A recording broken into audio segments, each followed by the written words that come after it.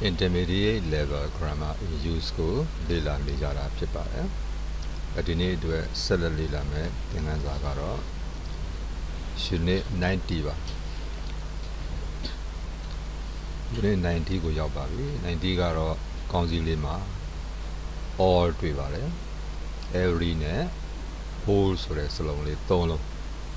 သူတို့၃လုံးရဲ့အသုံးလေးတွေနဲ့နော်ဆောင်းရန်ရှောင်းရန်လေးတွေပါ အဲ့တော့သူတို့ session A ရယ် session B နောက် session C ရယ် session D ရယ် session E ရယ်ဆိုပြီးတော့ session လေး၅ခုနော်၅ခုနဲ့ဖွဲ့စည်းထားတာတွေ့ရတယ်အခု session A ကိုစတင်ပြီးတော့လေ့လာကြည့်ကြရအောင်အဲ့ session A မှာ all and everybody slash everyone, all ဆိုတဲ့စလုံးလေး အားလုံးလို့ပြောခြင်းတယ် everybody တွဲရထားပါတယ်မခွဲပါဘူး everyone သူလည်းတွဲရထားတယ်မခွဲပါဘူး everybody everyone ဆိုတာကတော့လူတိုင်းလို့အဓိပ္ပာယ်ရတာအားလုံးလို့ရှေ့ကတော့အားလုံးလို့ပြောခြင်းတာနောက်က everybody သို့မဟုတ် everyone ကတော့အာလူတိုင်းလူတိုင်းလို့အဓိပ္ပာယ်ဆောင်ပါတယ် we do not normally use all to mean everybody slash everyone. အဲ့တော့တို့တွေကအဲတာမန်အဖြစ် နော်မသုံးကြဘူးတဲ့ all ကိုတဲ့ everybody everyone ဆိုတဲ့အဓိပ္ပာယ်ဆောင်စေဖို့အတွက်တာမန်အဖြစ်တော့မသုံးကြဘူး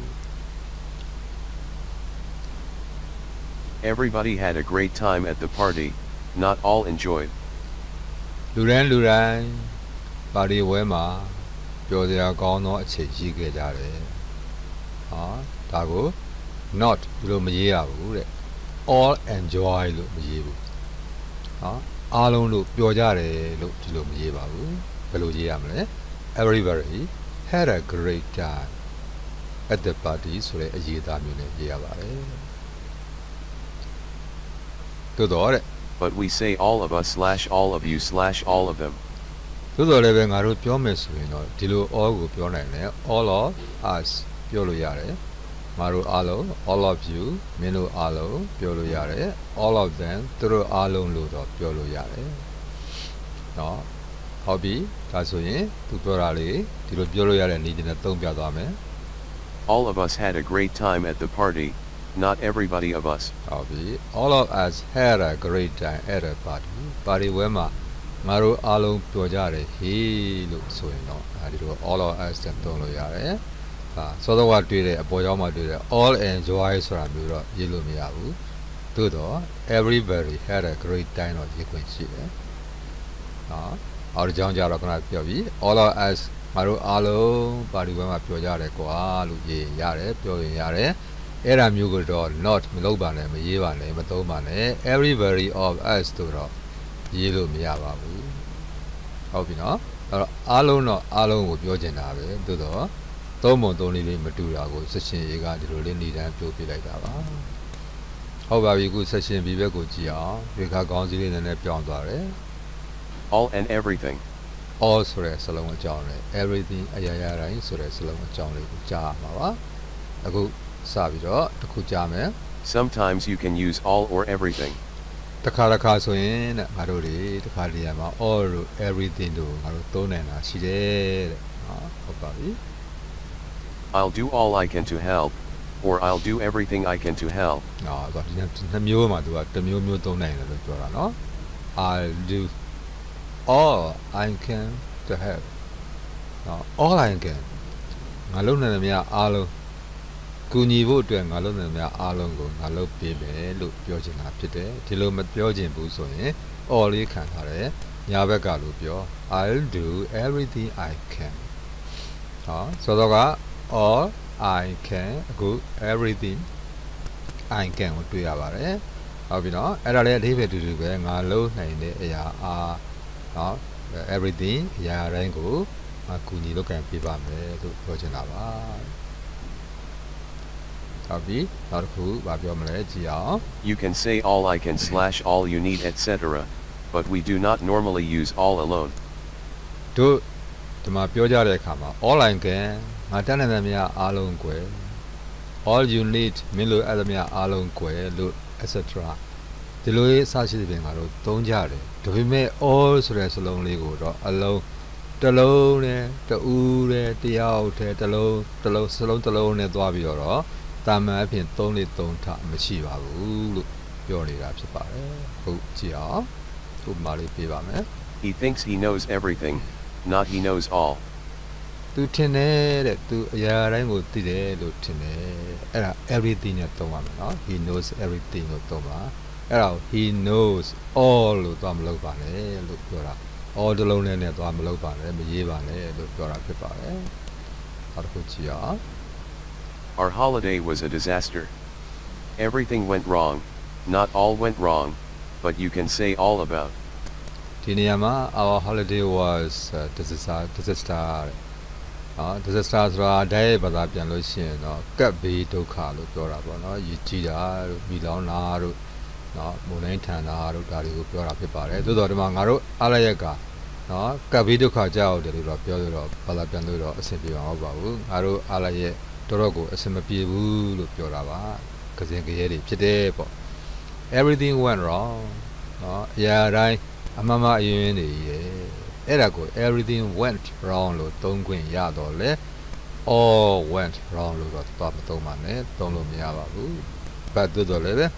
you can say all about ဆိုတာမျိုးသုံးနိုင်တယ်ဟုတ်ပြီ all about ဆိုတာမျိုးတွေတော့အသုံးလေးရှိတယ်နော်အဲ့ဒါလေးကိုသူသုံးပြပါတယ်ကြည့်ရအောင် He knows all about computers. အော်သူကွန်ပျူတာနဲ့ပတ်သက်တာတွေတော့အကုန်သိတယ်ကွဲလို့ဒီလိုပြောတာနော်အဲ့ဒါမျိုးကြတော့သုံးလို့ရတယ် all about သုံးလို့ရတယ်အားလုံးလို့ပြောချင်တာပဲ ဟောဟုတ်ပြီအဲ့တော့ဒီအသုံးတွေကသူ့နေရာနဲ့သူအန်ကြအောင်သုံးတတ်ဖို့တော့လိုပါတယ်ဥပမာလေးတွေသိချာကြည့်ကြပါနောက်တစ်ကြောင်းဆက်ကြည့်အောင် We also use all, not everything, to mean the only thing, s. ဟုတ်ပြီတို့တွေ all ကိုသုံးကြတယ်သုံးဆွဲကြတယ်ဟာ not everything everything ဆိုတဲ့စလုံးမဟုတ်ဘဲနဲ့ all ကိုသုံးတဲ့အဓိပ္ပာယ်ကတော့ the only thing the mo- the only things နော် ဒီအရာတွေသာလျင်လို့ပြောချင်တာဖြစ်တယ်ဒါတွေသာလျင်လို့ပြောချင်တာဖြစ်တယ်ဟုတ်ပြီဥပမာလေးတစ်ကြောင်းနဲ့သူပြောသွားတယ်နော် All I've eaten today is a sandwich. Equals the only thing I've eaten today. ဟုတ်ပြီ all i've eaten today ဒီနေ့ငါစားခဲ့သမျှအရာအလုံးကတော့ sandwich မုံလေးတစ်ခုပဲဖြစ်တယ်တဲ့အသားညက်ပေါင်မုံလေးတစ်ခုပဲဖြစ်တယ်တဏီကုံစားတာဒီတစ်လုံးပဲစားရသေးတယ်လို့ပြောတာဒါလေးရဲ့အဓိပ္ပာယ်က the only thing i've eaten today ဒီနေ့ငါစားခဲ့တဲ့တစ်ခုတည်းသောအရာကတော့လို့အဓိပ္ပာယ်ထွက်တာပေါ့နော်ဒီတစ်ခါမျိုးမှာ all ကအားလုံးလို့ပြောချင်တော့လည်းပဲဒီ all ဒီ the only things တခုတည်းသောအရာလို့အဓိပ္ပာယ်ဆောင်စေတယ်ပေါ့နော်ဒီလိုတွေ့ရပြန်တယ်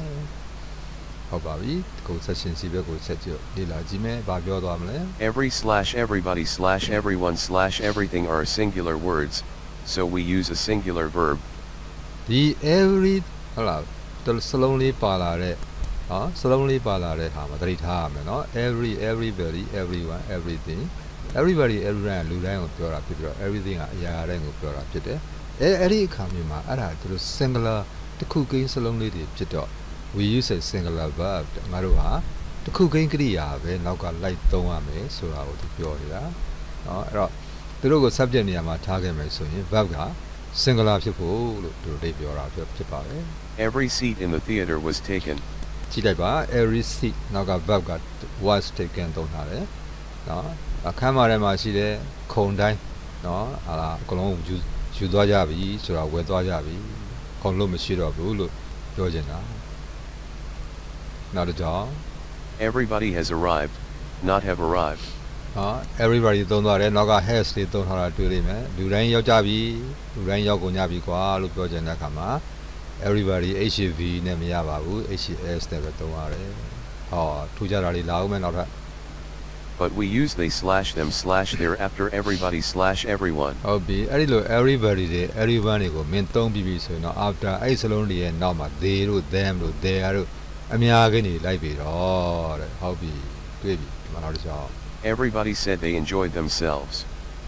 Equals everybody enjoyed himself or herself. တွေ့ပါပြီเนาะ everybody said လူတိုင်းပြောတယ် they သူတို့တွေ enjoy themselves သူတို့ဟာသူတို့ပျော်ကြတယ်ကွာလို့ပြောတယ်ရှေ့က everybody လို့တစ်ခုခင်းလေးသုံးထားပြီမဲ့နောက်ကအဲ့ဒီ everybody ကိုညှိုးတော့မယ်ဆိုလို့နန်စာပြန်လဲလာလဲလာတော့ they နဲ့လာတယ် themselves နဲ့လာတယ်ဆိုတာကိုသတိပြုရမှာပေါ့ဒါ section D ဘက်ကိုကူမယ် section D လေးကဘာပြောလဲ whole and all, whole ဆိုတဲ့စလုံးလေးတစ်ခုလုံးလို့ပြောကြတာနော် all ဆိုတဲ့စလုံးလေးကတော့အရှိမတွေ့ခဲ့ပြီပြီဟုတ်ပြီခု whole အကြောင်းလေးနည်းနည်းပြောကြည့်အောင်နော် whole အကြောင်းလေးပြောကြည့်အောင်နည်းနည်းတော့များပါတယ် whole equals complete entire. Most often we use whole with singular nouns. Did you read the whole book? Equals all the book not just a part of it. Emily has lived her whole life in the same town. ဟုတ်ပြီအဲ့ဒါမှသူကဘောကြနှစ်ကြောင်းပြောသွားတယ်နှစ်ကြောင်းကတစ်ကြောင်းလဲလို့ဖြစ်နေတယ်ခွဲပြလိုက်မယ်နော်အဲ့တော့ whole ဆိုတဲ့သဘောက complete နော်အပြည့်အဝ entire တစ်ခုလုံးဆိုပြောပြောချင်တာတဲ့ most often we use whole ငါတို့ whole ကိုမကြာခဏဆိုသလိုပဲသုံးတယ်ဘယ်လိုသုံးလဲ with singular noun တစ်ခုကိန်းနံလေးတွေနဲ့တွဲဖက်ပြီးတော့သုံးဆွဲကြတယ်ဒါတို့ကြောင့်သူဥပမာပြီးတော့ did she read the whole book မင်းစာအုပ်တစ်အုပ်လုံးဖတ်ပြီးပြီလားလို့ပြောတာဟာအော် all the book လို့သွားပြီးတော့နော်စာအုပ်တစ်အုပ်လုံးစာအုပ်အားလုံးကိုပြောတာမဟုတ်ဘူး not just a part of it သူ့ရဲ့အစိပ်ပိုင်းတစ်ခုလေးကိုအစိပ်ပိုင်းတစ်ခုလေးကိုသွားရင်ပြောနေတာမဟုတ်ဘူးစာအုပ်ကြီးတစ်အုပ်လုံးကိုပြောနေတာမလို့ the whole book လို့တစ်အုပ်လုံးကိုရည်ညွှန်းတာဖြစ်တယ်သို့တော့ whole မှာတော့ BOK book ဆိုတဲ့ singular noun တစ်ခုရင်းနံလေးနဲ့ပဲသုံးတာတွေ့တယ်။ဟောတော့ဒီကြောင့်မှာ Emily has lived her whole life her whole life in the same town Emily ကနော်သူ့ဘဝတစ်လျှောက်လုံးကိုသူ့ဘဝအစားကနေအဆုံးကိုဒီမြို့တစ်မြို့ထဲမှာပဲနေခဲ့ဘူးတယ်လို့ပြောတာဖြစ်တယ်။တတိယဝကြလေးကိုကြည့်အောင် I was so hungry, I ate a whole packet of biscuits. Equals a complete packet. ငါတိတ်ပြီးတော့စားနေတယ်ကွယ်တဲ့ငါ biscuit တစ်ထုပ်လုံးငါစားပလိုက်နိုင်စားပလိုက်ခဲ့တယ်တဲ့ whole a whole packet a whole packet ကတခုပဲလေနော် PSKED a whole packet of biscuit biscuit တခုနော်တစ်ထုပ်လုံးကိုငါစားပလိုက်တယ် biscuit. တစ်ထုပ်မှာပါလာမြ biscuit အချက်ကြီးအကုန်လုံးငါစားပလိုက်တယ်လို့ဒီလိုပြောတာဖြစ်ပါတယ်ဒါပြောချင်တာကတော့ a whole packet ဆိုတာ a complete packet လို့ပြောတာပါပဲဟုတ်ပြီနောက်တစ်ကြောင်ဘာတွေပြောဦးမလဲ We use the slash my slash her etc before whole Compare whole and all. Her whole life but all her life. ဟုတ်ပါပြီဟာ before whole တဲ့ whole ဆိုတဲ့စလုံးလေးမတိုင်ခင်မှာ there တွေသုံးရမယ် whole ဆိုတဲ့စလုံးလေးမတိုင်ခင်မှာ mine လို့ဘာလို့ထည့်သုံးရမယ် whole ဆိုတဲ့စလုံးလေးမတိုင်ခင်မှာ har လို့ဘာလို့သုံးရမယ်ခု compare နိုင်ရှင်ခိုင်းတယ်နော် whole နဲ့ all နဲ့နိုင်ရှင်ကြည့်အောင်မဟာ whole life လို့ပြောတယ်သူမဘဝတစ်လျှောက်လုံးလို့ပြောချင်တာဘာတပေမဲ့ ဟော all her life လို့သုံးတယ် all သုံးလို့ရှိရင်တော့ all her life လို့သုံးတယ်ဟုတ်ပြီနော်ဟိုကဆိုတော့ her whole life ဘဝတစ်လျှောက်လုံးပဲနောက်ဒီဘဝတစ်လျှောက်ကို all နဲ့သုံးမယ်ဆိုရင် all her life လို့သုံးပါတယ်ဟုတ်ပါပြီကဲနောက်တစ်ခုရှင်းလင်းချက်ဖြစ်လာတယ် We do not normally use whole with uncountable nouns. We say, အဲ့တော့ whole ကိုသုံးတဲ့အခါမှာသတိထားဖို့အချက်တစ်ချက်ကိုသူသူပြောနေတာတာမန်အဖြစ် whole ကို uncountable noun ဆိုခေါ်တဲ့ရည်တွက်လို့မရသောနာမ်များနဲ့တွဲဖက်သုံးဆွဲလေ့မရှိဘူးเนาะဒါကြောင့်ငါတို့ပြောတဲ့အခါမှာဘယ်လိုပြောမလဲအားလုံးကြည့်ပါ I've spent all the money you gave me. Not the whole money. အဲဒီမှာသတိထားရမယ်ငါဖြုတ်ပလိုက်ပြီကွာမင်းငါ့ကိုပေးခဲ့တဲ့ပတ်စံအားလုံးငါဖြုတ်ပလိုက်ပြီကွာလို့ပြောတာ all the money လို့သုံးတယ် money ရ uncountable တော့ all နဲ့သုံးတော့အဆင်ပြေတယ်အဲ့ဒါကို the whole money လို့သွားသုံးလို့မရဘူးဘာဖြစ်လို့လဲ whole ကိုသုံးခြင်းလို့ရှိရင်နောက်က money ဆိုတဲ့ uncountable noun လိုက်လို့မရဘူးလို့ပြောတာဖြစ်ပါတယ်အခုတော့ section အဲ e ဘက်ကိုကူကြည့်အောင် section e မှာလည်းပဲဘာတွေပြောရမလဲမသိဘူး every slash all slash whole with time words every ဆိုတဲ့စလုံးလေးနောက်က time words နော်အချိန်စလုံးလေးတွေနဲ့တွဲသုံးတယ် all ဆိုတဲ့စလုံးလေး ဟာသူတို့နဲ့အချိန်စလုံးတွဲသုံးမယ် whole ဆိုတဲ့စလုံးနဲ့နောက်ကအချိန်စလုံးနဲ့တွဲသုံးတာလေးတွေကိုကြည့်အောင်တဲ့ဒီအသုံးလေးတွေကိုကြည့်အောင်ကဲအကြောင်းကြည့်မယ် We use every to say how often something happens, every day slash every Monday slash every 10 minutes slash every 3 weeks etc. ငါတို့ every ကိုသုံးတဲ့အခါမှာ how often something happen ဇုံတရားဟာဘယ်လောက်ခဏခဏဖြစ်ဖြစ်တယ်လဲဆိုတာကိုပြောဆိုဖို့အတွက် every ကိုသုံးတယ် အော်နေတိုင်းဖြစ်တယ်ဆိုရင်ဘယ်လိုသုံးမလဲ every day လို့သုံးတနင်္လာနေ့တိုင်းဖြစ်တယ်ဆိုရင် every monday လို့သုံး7 minute တခါကားထွက်နေတယ်ဆိုတာမျိုးပေါ့နော်အဲ့ဒါပေါ့အဲ့ဒါမျိုးဆိုရင်တော့ every 10 minutes လို့သုံးပါသုံးဘတ်တခါနော်သုံးဘတ်တစ်ချိန်ဆိုရင်တော့ every 3 weeks သုံးဘတ်တိုင်းမှာသုံးဘတ်တိုင်းမှာဟုတ်လားစသဖြင့်ဒီလိုမျိုးသုံးလို့ရပါတယ်အဲ့လို time watch ဆိုခေါ်တဲ့အချိန်လေးတွေနဲ့ every နဲ့တွဲတာလေးကိုပြောပြနေတာဖြစ်ပါတယ် example လေးနှစ်ကြောင်းသုံးကြောင်းတော့နောက်ထောင်ကြည့်အောင် When we were on holiday, we went to the beach every day. Not all days. ငါတို့အားလိုက်ရရတဲ့အချိန်တုန်းကတဲ့ငါတို့နေတိုင်းကမ်းခြေကိုတွားခဲ့ကြတယ်လို့ပြောနေတာ every day လို့ပြောပါတယ် not all day ဆိုမပြောပါဘူးဟောနောက်တစ်ကြောင်းကြည့်အောင် The bus service is excellent. There's a bus every 10 minutes. bus ကဝန်ဆောင်မှုလုပ်ငန်းတိတ်ကောင်းတာပဲ excellence အထူးကောင်းတာပဲ there's a bus bus ကတစ်စီးတစ်စီးရှိတယ် every 10 minutes 7 minute တိုင်းမှာ bus ကတစ်စီးရှိရှိတယ် every နဲ့အချိန်နဲ့ပေါင်းထားတယ် every 10 minutes ပါနောက်တစ်ကြောင်းကြည့်အောင် We don't see each other very often, about every 6 months. ငါတို့တယောက်ကိုတယောက်နော်ခက်ခဏခဏကြီးတော့မတွေ့ကြဘူးမမြင်ကြဘူးကွာခံမှန်းကြီးအဖြစ် about ဆိုတာခံပေါ့နော် every 6 month 6လလောက်မှာနော်6လတိုင်းလောက်မှာတစ်ခါတစ်ခါတွေ့ကြတယ်လို့ပဲပြောတာပါ ခဏခဏကြီးတော့မတွေ့ဘူးလို့ပြောတာပါကဲကူ all လေးကိုသုံးကြည့်မယ် all လေးကိုနော် time warp နဲ့အချိန်နဲ့တွဲပြီးတွဲကြည့်မယ်နော် All day slash the whole day equals the complete day from beginning to end. all day လို့ပြောသုံးလို့ရတယ်เนาะ day ဆိုတဲ့အချိန်ပေါင်းထားပြီး the whole day နောက်က day ဆိုတဲ့အချိန်ပေါင်းထားပြီးသူတို့ဟာအဲ့ဒီနေ့ရဲ့ beginning အစကနေပြီးတော့ end အဆုံးအထိတနေ့ကုန်လို့အပြည့်အဝเนาะတနေ့လုံးအပြည့်အဝလို့ပြောချင်တာ the complete day from beginning to end လို့သုံးတာဖြစ်တယ်တဲ့ကြည့်ကြည့်အောင်ဒီကြောင်းစပြောမယ် We spent all day slash the whole day on the beach. ငါတို့တွေဟုတ်လားကံကြီးပေါ်မှာတဲ့ all day တနေ့ကုန်အချိန်ဖြုံးနေတဲ့နေ့အစမှနေ့အဆုံးပေါ့ငါတို့တွေတဲ့ကံကြီးပေါ်မှာတဲ့ the whole day တနေ့ကုန်အချိန်ဖြုံးနေတဲ့ the all day ပဲသုံးမလား the whole day ပဲသုံးမလားသုံးနိုင်တယ်ဟော the whole day သုံးရင်တော့ the လေးထည့်ပြီးတော့မမေ့နဲ့ပေါ့နော်ဘယ်ဟုတ်ပြီးနောက်တစ်ကြောင်းပါလို့ပြောလို့လည်းကြည့်အောင် Dan was very quiet. He didn't say a word all evening slash the whole evening. Dan တိတ်ပြီးတော့တိတ်ဆိတ်ငြိမ်သက်နေတာပဲ Dan ဆိုတာလူနာမည်ပါကောင်းလေးနာမည်ပါ he didn't say a word စကားတစ်လုံးတော့မပြောဘူး all evening တညငယ်ကင်းလို့ all နဲ့သုံးသွားတယ်နောက်ကအချိန် evening တွေ့ထားတယ်မသုံးညင်ဘူးလား the whole evening တညတညနေကင်းလုံးလို့ပြောတာအတူတူပဲအဓိပ္ပာယ်ကတော့သူတို့ there လေးနဲ့တွဲသုံးသွားတာတွေ့ရတယ် နောက်မှတ်ချက်ဆိုတာလေးတစ်ခုနားထောင်ကြည့်ပါဦးမှတ်ချက်ပါပြောမလဲ Note that we say all day, not all the day, all week, not all the week, etc. အာသတိထားမယ်တဲ့သတိထားမယ်ငါတို့ပြောရင် all day လို့ပြောတော့တဲ့နော် all the day လို့တော့မပြောနဲ့နော် all week လို့ပြောတော့တဲ့ all the week လို့တော့တော့မပြောပါနဲ့ဟုတ်ပြီအခုနောက်ဆုံး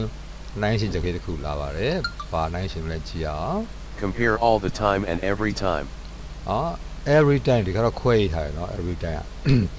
နော်ဟို everybody လို့ everyone လို့ကတ်ရတယ်လို့မဟုတ်ဘူး every time ကိုခွဲထားတယ် every နဲ့အချိန်နဲ့ပေါင်းတဲ့ပုံစံလေးပေါ့နော်ရှင်းမှာတော့ all the time လို့ရှိတယ်သူတို့နှစ်ခုနိုင်ရှင်ကြည့်မယ်နော် all the time အချိန်အားလုံး every time အချိန်တိုင်းလို့ပြောတာပါ They never go out. They are at home all the time. Equals always, continuously. သူပြောနေတာက သူတို့ဘရမအပြင်မထွက်ဘူးလို့ပြောနေတယ်သူတို့အချိန်အားလုံးမှာအိမ်မှာရှိတယ်လို့ပြောတာ always အမြဲတမ်းရှိတယ် continuously အဆက်မပြတ်အိမ်မှာရှိနေတယ်လို့ပြောတာပါသို့တော့ every time ကိုသုံးတဲ့အခါမှာကြည့်အောင် Every time I see you, you look different. Equals each time, on every occasion. ဟုတ်ပြီ every time I see you ငါမင်းကိုမြင်တဲ့အချိန်တိုင်းအချိန်တိုင်းမှာ you look different မင်းကမတူဘူးတဲ့ဒီစီမှာဒီလိုမြင်တယ် နောက်တစ်ချိန်ကျတော့မင်းကတစ်မျိုးပြောင်းသွားတယ်ဒါလေးကိုပြောတာเนาะအဲ့တော့ငါမင်းကိုမြင်တဲ့အချိန်တိုင်းเนาะအချိန်တိုင်းမင်းမတူဘူးတဲ့เนาะပြောချင်တာက every time ဆိုတာ each time အချိန်တိုင်းကိုပြောချင်တာ on every occasion အချိန်နေအသီးသီးအချိန်နေတိုင်းကိုပြောချင်တာတဲ့เนาะတွေ့တဲ့တဲ့အချိန်တိုင်းမှာသူကအပြောင်းအလဲဖြစ်ဖြစ်ဖြစ်ဖြစ်နေတာကိုပြောချင်တာပါเนาะအဲ့လိုသဘောလေးကွာခြားပါတယ်အခုဆိုရင်ရှင်းလင်းချက်များပြီးသွားပါပြီလက်ကျင်ကံပဲကိုကူအောင် ဒါကတော့90.1 14ချောင်းရှိပါတယ်များပါတယ် all everything everybody everyone သုံးဖို့ဖြစ်ပါတယ်အော်တော့ဒီငါတစ်ခုကတော့6ကြောင်းရှိပါတယ်သူကတော့ whole ကိုသုံးရမှာဖြစ်ပါတယ်ဒုတိယနောက်ဆက်တွဲ8 9မြေကုန်းလေးကြတော့ all လေးပါပါလာတယ် all လေးလည်းပါလာတယ်နောက်90.3ပါသူကတော့ every ကိုသုံးရမှာဖြစ်ပါတယ်အားလုံးပေါင်း5ကြောင်းရှိပါတယ်90.4ကတော့အမှားအမှန်လေး ပါတယ် VPN မှာဖြစ်တယ်ဟောနှလုံးပေးရတယ်နှလုံးလေးကတစ်လုံးကမှားမှာပါတစ်လုံးကအမှန်ပါအားလုံးပြီးသွားတဲ့အခါမှာအဖြေများနဲ့တိုက်ဆိုင်စစ်စစ်ကြည့်လို့ရပါတယ်ဒါကသူ့ရဲ့90ရဲ့အဖြေများပဲဖြစ်ပါတယ် Beauty 90ရဲ့အဖြေတွေပါအဲအားလုံးအဆင်ပြေကြမှာပါဗျာ